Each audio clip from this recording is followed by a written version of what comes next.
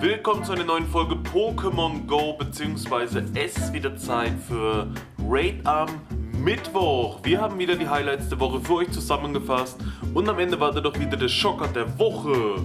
Angefangen hat die Woche beim Bockwurst King mit einem Shiny Pantimimi, wie man hier sieht, was wohl wirklich eines der seltensten Shinies der ganzen Welt ist.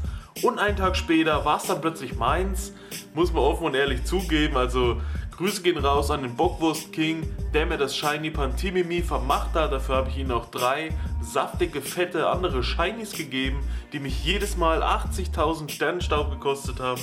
Aber ihn selber natürlich auch. Dann habe ich einen Shiny Magpie gebrütet. Ich krieg nur sowas, habe ich geschrieben, bestimmt schon zum fünften Mal oder so. Also wenn ihr einen Shiny Magpie braucht, schreibt es mich an und dann schicke ich euch das mit der Post. Dann habe ich was gesehen.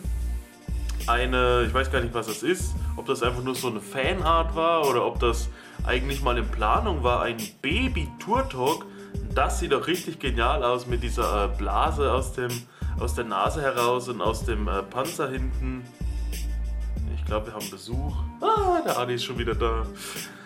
Dann habe ich was gebrütet auf dem kleinen Account, ein 100% Rabaut.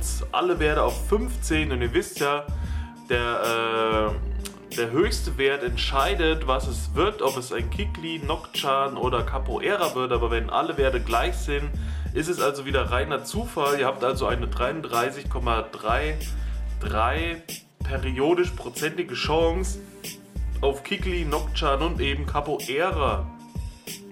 Dann der Tim hat mir ein 100% erlöstes Trattini geschickt aus dem Rocket Stop. Und Rocket Stop natürlich jetzt auch wieder ganz wichtig. Da tut sich ja in letzter Zeit so viel und immerzu gibt es was Neues dazu. Also ein 100%iges Trattini Level 25. Hab schon ewig keinen Rocket Stop mehr gemacht, habe ich dazu geschrieben. Was sich aber demnächst ändern wird. Dann vom Brain, Brain, vom, vom Herrn Schlurrig einfach Markus, jetzt wird es ernst. Du bist im Voting. Die haben nämlich irgendwie ein äh, Stop eingereicht in Thema lebendiges Relaxo am Markt. Und ich habe ja schon viel Blödsinn gesehen, der da getrieben wird mit dem Niantic Wayfarer. Aber hier seht ihr, der Markus als Pokestop in Thema ist sogar im Voting. Also wenn der durchgeht, dann fresse ich einen Besen. Normal muss man das ja ablehnen wegen lebenden Personen. Aber Thema wäre nicht Thema, ne? wenn da nicht irgendwas passieren würde. Sieht man hier auch beim Shiny Nägelmon, der hat nämlich schon wieder ein Shiny Sichlor bekommen. Dann der Alex Hoffi, weil es so schön ist, ein Shiny Sneebel. Aber Mann, so langsam nerven die Dinger, habe ich ihm auch gesagt, weil jeder postet mir jeden Tag 10.000 Shiny Sneebel, weil die jedem einfach überall hinterhergeworfen werden. Dann richtig genial, bevor angekündigt wurde, was jetzt also der Feldforschungsdurchbruch für Dezember ist und wie es weitergeht, ist ein Bild rumgegangen, dass es ab jetzt dann also äh, Evoli mit Weihnachtsmütze gibt, was auch shiny sein kann. Viele fanden das sogar richtig cool. Natürlich also eigentlich nur ein Scherz, weil Evoli die ganze Zeit drin war und alle genervt waren. Evoli, wer braucht das? Wir wollen was Besseres, wir wollen Legendäre oder wir wollen was Neues. Das wäre auf jeden Fall was Neues gewesen, denn Evoli mit Weihnachtsmütze gab es bis jetzt noch nicht. So, dann haben wir natürlich einen neuen Stop bekommen, oben bei der äh, Fußballanlage, Multifunktions-Sportanlage, so heißt das ja. Da können die nämlich nicht nur Fußball spielen, sondern auch noch ähm, Basketball. Ihr könnt natürlich auch Wrestling drin machen und euch in der Gegend rumschmeißen. Aber der Bobse Rob aus dem Fünferei noch mit einem äh, Vermicula. Wer noch keins hat, schreibt es mal in die Kommentare. Nein, Wer schon ein Vermicula gebrütet hat oder gefangen hat, schreibt es mal in die Kommentare. Ist ja das Kontinentale aus der fünften Generation zusammen mit äh, Funifras. Saß bei mir vor der Tür, armes kleines goldenes Hundi vom Kenny, ein Shiny Pfiffchen gefangen. Das war nämlich noch alles im Halloween-Event. Genau wie der Nägelmon mit einem Shiny Zobiris, einem Shiny Driftlon. Ebenfalls dann der Gefa hat bei mir vorm Haus einfach mal ein Golbit gefunden, ein wildes Golbit. Das hat er selber auch noch gar nicht gehabt, hat sich da aber gegönnt, hoffentlich mit gelber Beere. und ein bisschen getradet, wie man hier sieht. Hat ein paar Lucky Pokémon bekommen. Ponita mit 84%, äh, Pikachu mit Kostüm 97%, ist also bestimmt ein 98er. Lepomendas 84, Tentara 82, Schubbet 80, Driftlon 88, also das Highlight wahrscheinlich das Pikachu mit 98%. Der Emil hat einen Shiny Isso gebrütet, auch richtig genial. Mitchell mit einem Shiny Schuppet, der Bockwurst King, guten Morgen Shiny mit einem Shiny Skorgler und auch einem richtig guten Level, wie man sieht. Dann gab es die Medaillen für die kolossale Entdeckung. Pogefreak Red hat mir das geschickt. Meine habe ich da jetzt nicht extra nochmal mit reingenommen. Dann der Tim im einer der letzten Darkrai Raids, die er gemacht hat im Halloween-Event mit einem hundertprozentigen Darkrai noch.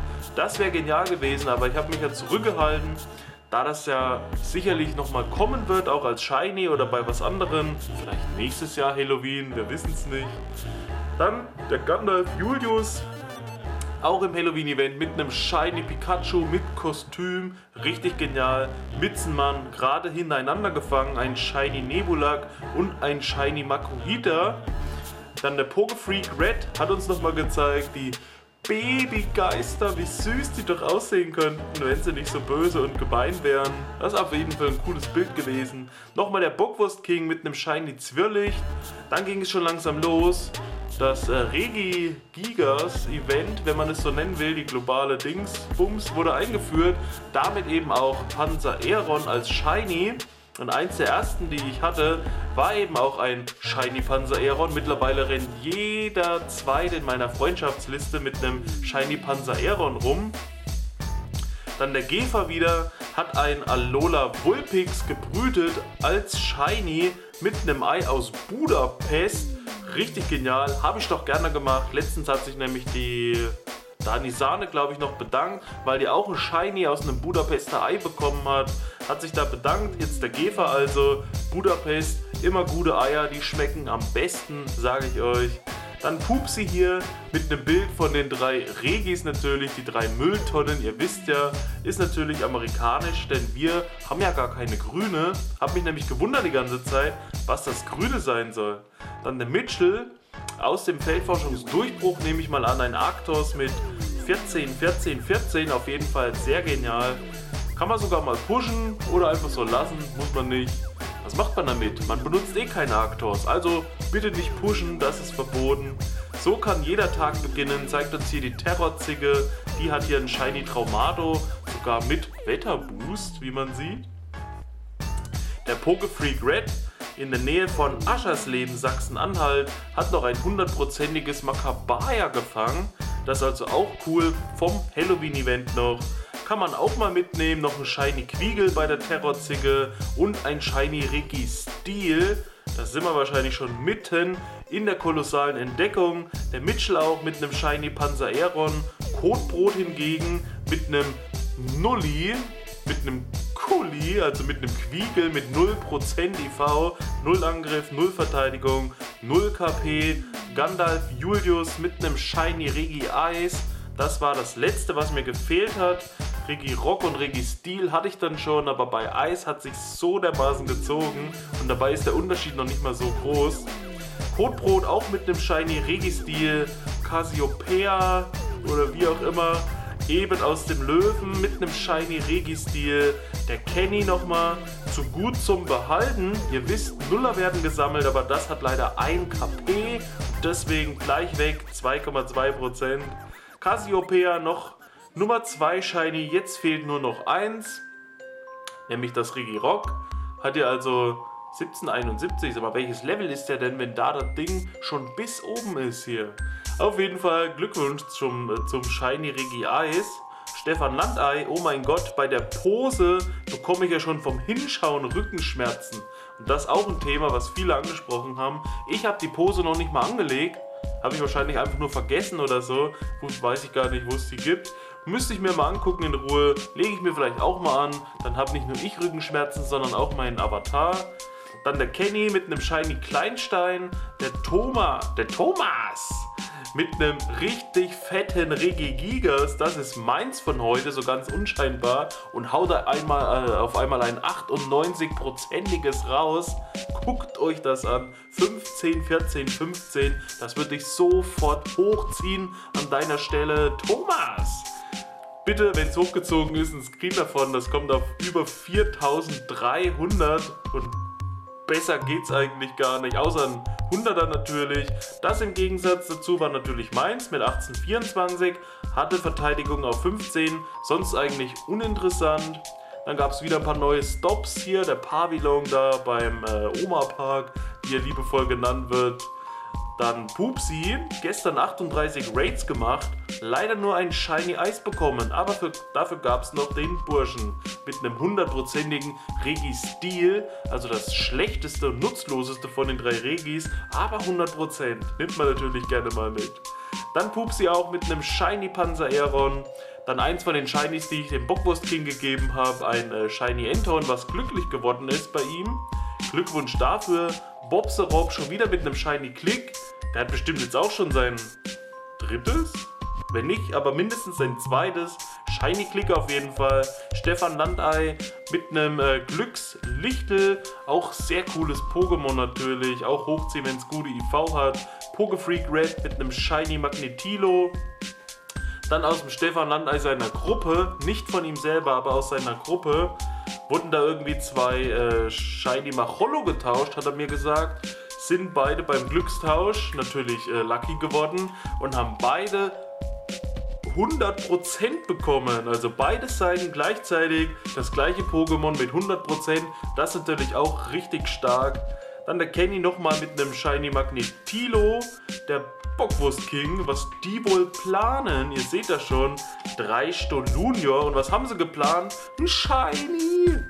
Beim Robby nämlich. Die haben das Shiny nur bewacht, habe ich dann irgendwie gesagt. Dann bei Mitchell ein Rex Blizzard, ein hundertprozentiges. Und ist das auch aus der Forschung vielleicht? Hat er aus der Forschung ein hundertprozentiges Rex Blizzard bekommen? Dann sagen die Leute noch, das Ticket hat sich nicht gelohnt, ja. Das ist mal ein Spawn, schreibt der Pokefreak Red, wo ich sagen muss, nee, wenn ich mir Spawns angucke, da sitzen da 100 Sachen rum, aber das, das sind ja gerade mal vier. Was ist daran krass? Das ist, warum habe ich das Bild überhaupt mit reingenommen? Guck mal, Pikachu. Ach nee, das ist er selber. Fünf sind ja, da ist ja noch ein Stolunia dahinter. Okay. Dann ein. Oh. Die Kinder mal bitte weggucken hier. Die Rachel Lacroix ist in Detroit. Keep giving me your candy, but I won't evolve for you. Sieht auf jeden Fall lustig aus mit diesem Carpador-Hut, mit dieser Carpador-Mütze. Ramses der Lustmolch, jetzt neu auf YouTube. Bockwurst King noch mit einem Shiny Stolunio, Mary Ann, wo ich immer noch nicht weiß, wer das ist, mit einem Shiny Mushas. Dann, was habe ich jahrelang mit dem Sly, also mit dem Sylvester Stallone, darauf hingearbeitet, dass wir nur noch einen Tag brauchen für den äh, Levelaufstieg zu Hyperfreunde. Und dann haben wir gesagt, nehmen wir mal ein Geschenk auf, dann können wir am C-Day dann den Levelaufstieg machen. Hat er vergessen. Danach haben wir irgendwie aus Versehen, waren wir in derselben Lobby. Dann haben wir gesagt, oh, beim Raid ist ja heute schon aufgestiegen, da muss ich das Geschenk gar nicht mehr machen. Haben wir gesagt, alles klar, merken wir uns, ne? Machen das dann, wenn der C-Day ist, den Levelaufstieg. Jetzt war X-Raid am Schwimmbad, alle gehen rein. Er ist auch wieder mal bei uns mit in der Lobby und plötzlich, boom, Hyperfreunde. Hat es leider nicht ins Video geschafft, aber dafür habe ich ihn abgescreent und habe ihn hier halt eben erwähnt. Nägelmon nochmal, Shiny Regi Eis, Pokefreak Red, 6er Team Visor am Start. Richtig fett, Bruder, guck dir das an.